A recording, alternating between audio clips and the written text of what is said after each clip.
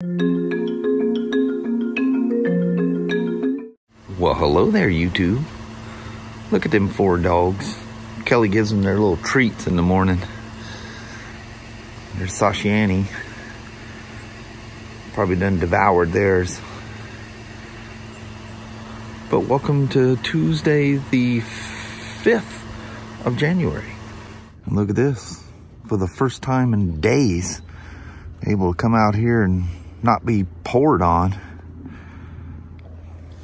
And uh, the flood of, of Toledo has subsided. Last night there was still water back there and in the front front lawn. in the little low spots, it's all gone. It's all gone out of the field in the back as well. well anyway, let's start off a Tuesday. Hey there, Mama. Hey there, Well there, little woman. Just a little With your little banner danner on, you look cute. it's Tuesday. And it's not raining. We will take it. But I guess the rain's coming. Yeah. Enjoy it while it's not. Oh, heck yeah. All right. Have a wonderful Tuesday there, young woman. You too, honey. All righty. I'll see you in the passings. All right. All right. Love to see you. Bye. Bye. Bye-bye. So I was upstairs getting a cup of coffee and past Kelly. And she was getting a cup of coffee. And she goes, did you ride that K1600 yet? And I go, no. She goes, you better do it sooner than later because the rain is a-coming. I go, oh, okay. so here we are. K1600 in hand. This is the uh, the mix mix match trunk. Wow, this thing's got a low seat on it. My knees are almost hitting my uh, my chin. Man, that is a squatted, and it seems like it's really forward too. That's kind of weird feeling, actually. I don't think I've ever ridden one with a seat like this on it.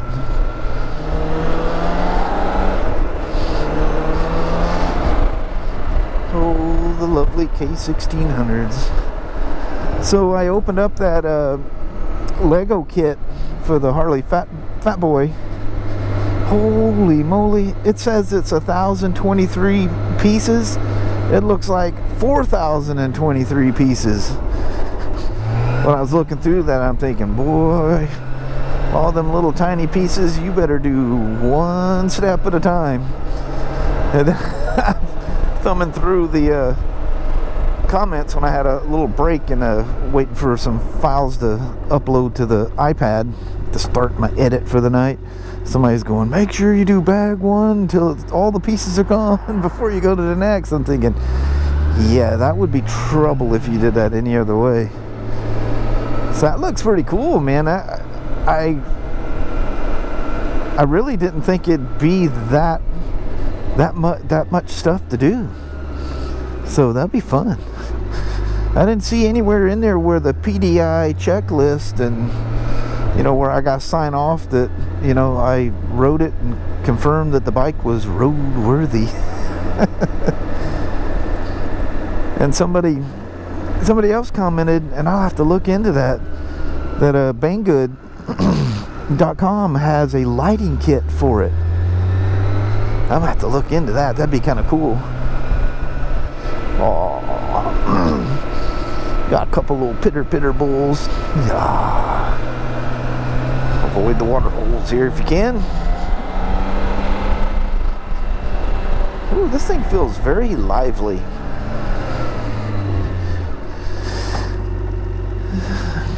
I guess it is K1600. They got they got some uh, torque and horsepower numbers. I always said it'd be cool if they made a some whether it be a sport cruiser or some kind of a hooligan sport bike with this motor in it. That'd be cool. Whew, that'd be a monster. But it would be one of those impractical things, you know. It just it'd be crazy heavy and like insane amount of power. I wonder if they would detune it or anything. Man, this motor in a light bike or a light chassis, you know, without all the stuff on it would be, whew, it'd be fun though. Heck of fun. Mm, that new smell rolling off of it.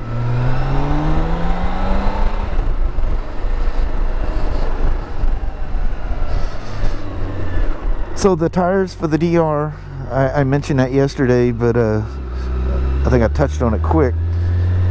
On my uh, 1993 DR650, when uh, when I purchased it, it was a trade-in.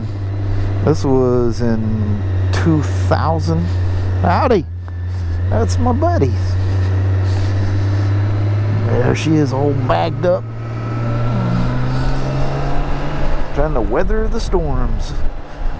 But uh, when I purchased it,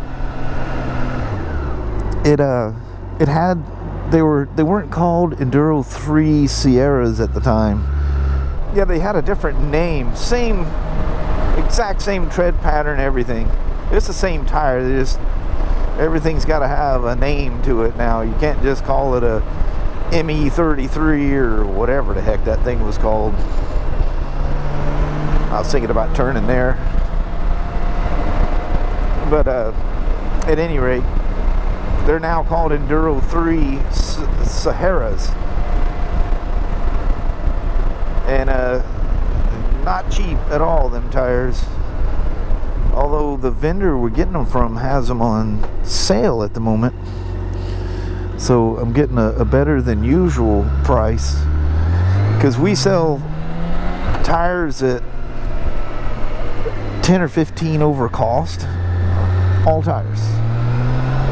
Well 10 over cost is employee cost so but sometimes you can look online and find them cheaper but it needs to be from a very reputable place because we've had so many in fact it's so it's so bad that uh, we no longer mount tires that weren't sold by us because we get people buying them offline and even though they're a name brand um, they're flawed.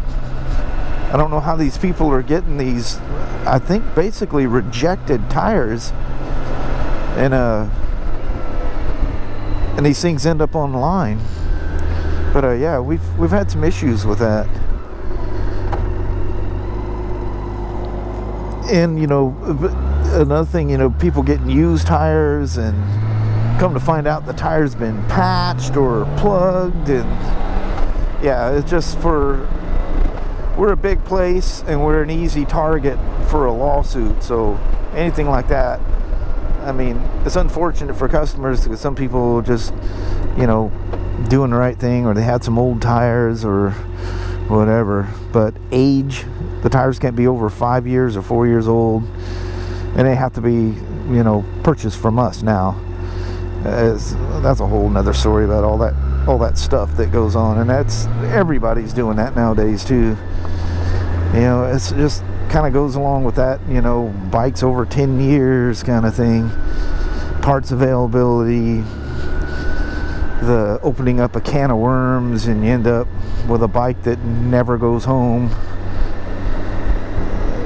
unhappy customers because you can't fix it because you can't get parts. It just, the list goes on and on of reasons why all that is. Most, most people understand it. A lot of people don't. I'm sure I'll even get comments. Oh, that's a crap, a crock of crap, and blah, blah, blah. Whatever, dude. You're not in the business. We see the worst side of it. And uh, in the wintertime, we we literally have motorcycles here. We'll get weak and bypass that rule. And uh, the, yeah it's it's a bad deal. God dang it I missed my turn again. So I've already discussed all that. The tires. Those tires were on that DR and even when they were wore out they performed phenomenally well in the dirt and on the road they are probably the truest 50-50 tire I've ever ridden on. you can read they're not perfect. Uh, obviously it's not going to replace a a knobby and obviously it's not going to replace a replace a street tire. But for a dual sport tire um, crazy road performance and it shouldn't work this good dirt performance so when those wore out you know i was shocked at the price. This was on the 93 and this was i don't know in 05 06 somewhere in there i needed a new set. And i'm like what? How much? And like no way. I'm not paying that much for them tires you know? So shinkos had just come out. I think it was the shinkos. Kelly goes well i don't think the shinko was around back then but i don't know they were one of those ones that make an exact copy, literally an exact copy of those Metzeler tires. And a parts guy talked me into those things. And I bought both tires for less than the price of, well, the front tire. The front's the cheaper of the two. For less than the price of one Metzeler, I, I got both tires. Literally the worst tires I've ever ridden on. Scared the heck out of me on the street and um and were absolutely it was like riding on a street tire in the dirt. There was no traction and then no traction. They were bad in every way really bad. And uh i even ended up selling that that bike to a private party. And um i even told the guy i says look these things look new. They're actually got x amount of thousand miles on them and been ridden a lot I said, but here's the thing. They're so hard, they don't wear out. They'll last you forever. I'm just trying to think of a place outside here to... How does... How's my... Is that thing all rain soaked back here? Let's see if I can get a photog of this thing somewhere. I'm looking for a place to take a picture of this thing. The gate's open over there if you want to get all the way through, all the way through. oh yeah? I'll take a look. But yeah, those Metzelers, they're expensive. And uh, even at my cost, which is uh, down a little bit because the the vendor we're getting them through has them on sale. Oh, look at that. I mean, literally goes all the way through. Don't think I see anything I like back here though. Take a picture next to the dumpster, that, that'd be less than cool. But um that's what they're they're on order. One's in Nevada and the other one I forget where. It's not ones we stock. And before you go rushing out to get yourself some Metzeler Enduro 3 Saharas, very limited sizes. Um, yeah, there's only one front, and there's two sizes for the rear. So it's a very limited range of bikes they fit. So if you have a DR650, I think is the same as a KLR 650, and you want an amazing 50-50 tire, take a look at those. But like I say, very limited size range. You know, they've got the they got some newer ones. They got the Karoos and what's this other one? It's kind of an 80-20 tire, which I probably should get because I I spend way more time on road than I do anything else. You know, if that thing just had a little different, less green and a little more gray like that, that would actually look good on there. So we got the uh, the fans to function, so we know that works. I think I'm just gonna leave it downstairs because that would look weird sitting on the showroom. You know what? I'm gonna slowly go through this water and clean off the any gravel I just picked up right there. Who says a K1600 can't be an ADV bike? I say let's do it. Can you imagine getting this thing stuck out in the wood somewhere? Holy moly.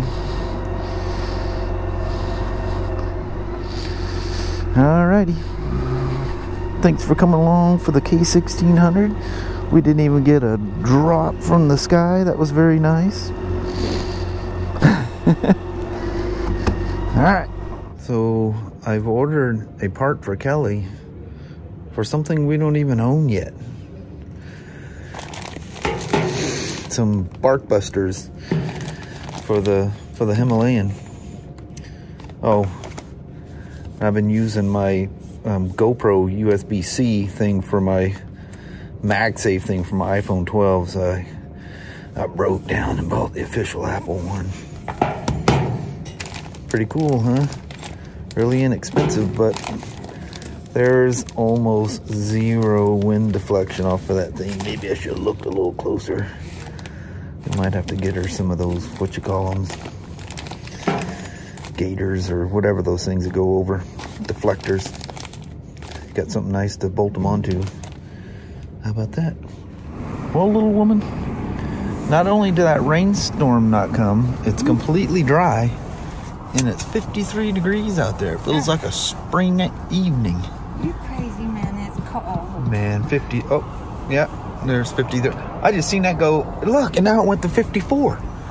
It's it went 52, then 53. Now it's 54. It likes the warmer temperatures. It does. All right, All right. let's head for the hills. Sounds good. Alrighty. Well, hello there, YouTube. The dogs all say hello as well. Barking and carrying on. Yeah, I wonder what you guys think every night hearing all them, hear all them. Hold on, about to drop the daggum camera there. Dogs all carrying on. I think some of you, I, I think I've heard several of you comment, go, I love hearing the dogs in the background. I, I don't know if you can call thing, that dogs or a, a that dadgum dog pound, petting Yeah. zoo or something around here. got a couple of them. Yeah. But that was nice. I got to ride a K1600. That was actually enjoyable. Taking it for a ride. Sparky coming across, setting lights off all over the place. Yeah, it goes, oh, they're here. Didn't set that one off. It skithered. He slithered. Yeah, he's too close. But um, that was a good day. Most of the day was dry, and it was dry most of the way home. And the last few miles before we took the exit to come out this way, been raining, just never stopped raining. And we had some body just literally tailgating us in some Mercedes SUV, the whole, literally from the freeway all the way we turned off to come down to our house Oh, yeah. just right on us. Oh, There was no peace in our little country setting. Lights were bright and no good place to pull over and let them by, you know. But anyway, I think on that, we're just gonna roll the heck on out. Alrighty. Well, thank you guys so much for watching. We really do appreciate it. We will talk to you tomorrow. Same Smoak time, same Smoak channel. Don't forget to give it a thumbs up. And you guys have a wonderful Wednesday or Thursday. Heck yeah. Thank you guys very much. Thanks for all the comments. Lots of nice comments. Been having a chance to sit down and click through and say howdy do back. I'll get to you eventually. Yes. but it is appreciated. Oh, very much. Yes. Love love reading those things. I try to answer some of them as I'm going along in the videos, you know. I try to anyway. All right. We that'll be see it. you in the morning. In the morning. Thanks for watching. Take care. Bye bye now.